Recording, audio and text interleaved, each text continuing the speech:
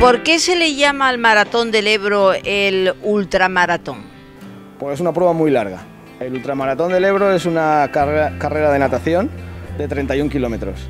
Es una prueba bastante dura y bueno, es en el río Ebro, salimos de, eh, de Cherta, un río arriba, y llegamos a, a, Amposta.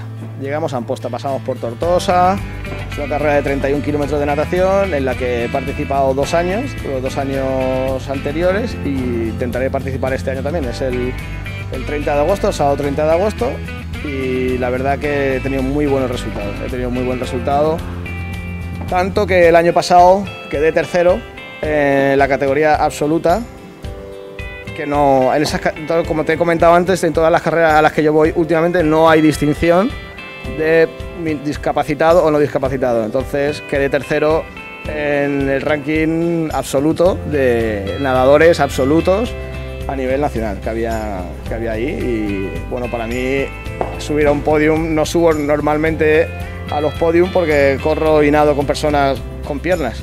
Pero bueno, verme ahí arriba, pues para mí fue un grandísimo orgullo. Bueno, tenemos que hablar, creo que además por reconocimiento y por esa personalidad, ese humanismo que tú estás derrochando, tenemos que hablar de los patrocinadores.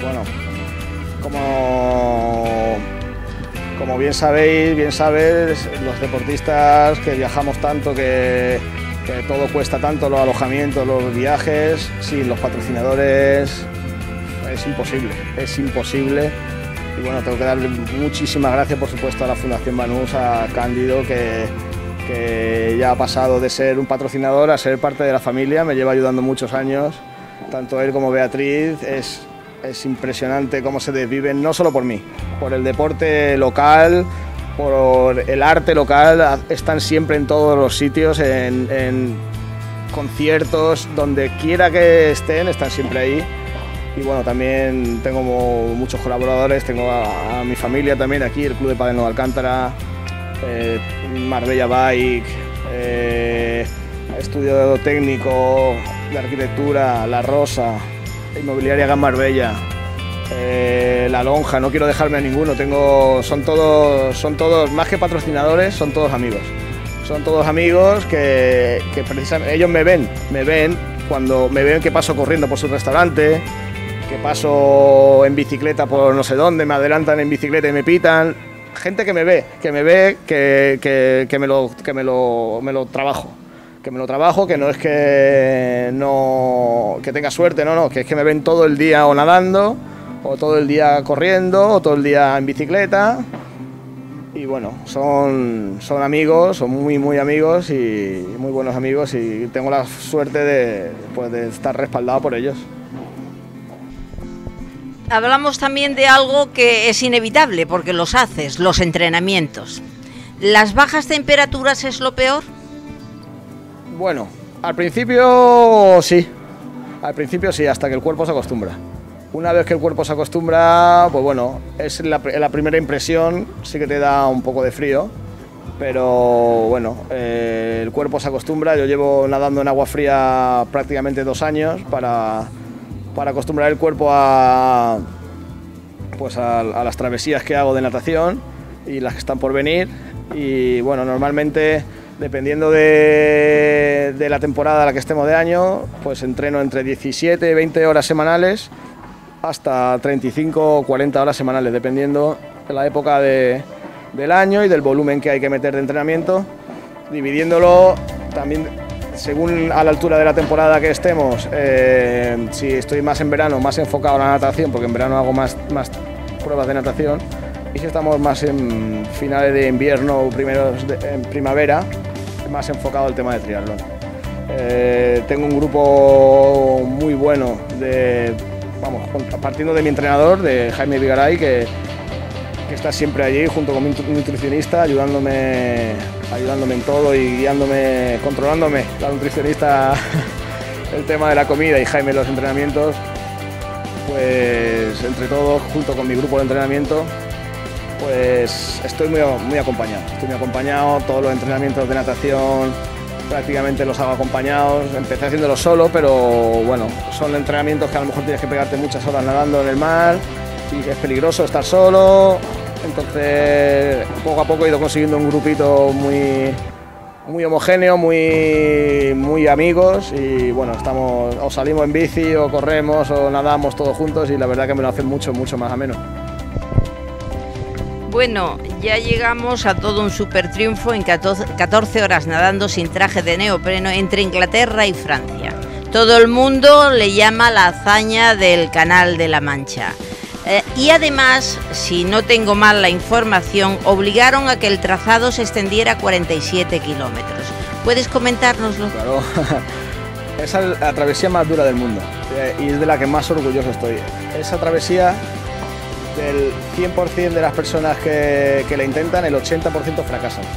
Fracasan por el frío, por la distancia o porque no pueden más, o cualquier, por cualquiera de estos tres motivos. El año que yo lo crucé, fallecieron dos personas. Justo antes, antes que yo lo hiciera, pues un mes antes, fallecieron dos personas nadando en el, canal de la extrema dureza que, tiene ese canal. Ese, cruce está catalogado como, como, el más difícil del mundo. Partiendo de la base que es el más difícil del mundo, ahí no se presenta ningún nadador sin, sin estar preparado. Entonces estas dos personas estarían igual de preparados que yo o más. Entonces valoro mucho más lo que es este, este cruce de, a nado del Canal de la Mancha. Yo estuvimos 15 días esperando el buen tiempo, nos pegamos 15 días esperando que el tiempo mejorara hasta que por fin mejoró. Y el piloto del barco, pues a las 2 del mediodía nos me tiró al agua desde Dover, a nadar, de día muy bien, de día todo lo que es la parte que fue de día, porque el mar no estaba muy mal y aparte la luz del sol y el sol te va calentando, aunque el agua estaba muy fría, estaba entre 14 y 16 grados. La luz del sol te da la vida, el aire te va calentando un poco el cuerpo, pero cuando se hizo de noche, cuando se hizo de noche el mar empeoró también y se complicaron mucho la, vamos, la climatología y las circunstancias. Fue una travesía muy dura. Eh, los últimos 5 kilómetros, estuve más de 3 horas para hacer los últimos 5 kilómetros cuando normalmente yo nado 5 kilómetros en una hora. hubo muchas olas, una corriente muy fuerte en contra y no era capaz de pasar por un, puente, por un punto porque la corriente no me dejaba. Después de estar tres horas, tres horas y media peleando contra la corriente, el piloto tuvo la feliz idea, menos mal que la tuvo, de desviarme. Me desvió un poco y en vez de nadar 44 kilómetros o 43, que es la distancia que estaba en un principio calculada, pues nadé 47 kilómetros. Pero bueno, en esos momentos te da igual nadar los que sean mientras que seas capaz de llegar a, Francia. Bueno, llegué muy contento, muy, muy feliz y la verdad que fue una experiencia muy, muy dura cuando subí al barco.